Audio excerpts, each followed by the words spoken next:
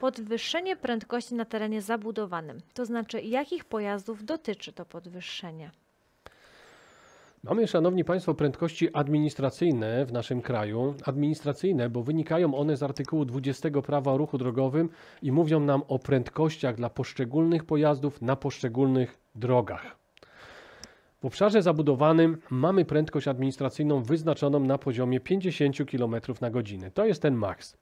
Ale Również ta sama ustawa mówi o tym, że zarządca drogi może tą prędkość obniżyć, a może też podwyższyć. I tak się zdarza. Są odcinki w obszarach e, zabudowanych e, na terenie miast, gdzie mamy 70 km na godzinę. Znak B33 e, 70. Czy on będzie dotyczył wszystkich? Nie, nie będzie dotyczył, proszę Państwa, wszystkich nie będzie dotyczył pojazdów, które e, przewożą towary niebezpieczne w ilościach niepodlegających wyłączeniu spod przepisów ADR, czyli musi być oznakowany pomarańczową tablicą. Nie dotyczy. Samochody ciężarowe przewożące osoby poza kabiną również nie dotyczy. nie będzie dotyczył również motocyklisty, który przewozi dziecko do siódmego roku życia.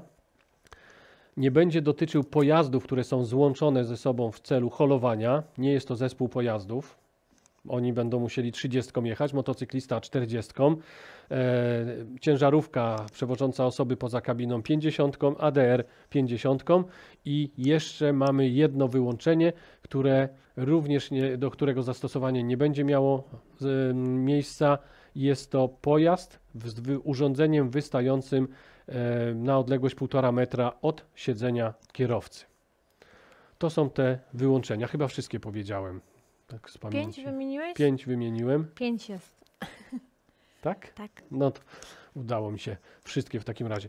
Dla tych kierujących tymi pojazdami, które wymieniłem, ten e, podwyższenie prędkości nie będzie miało zastosowania.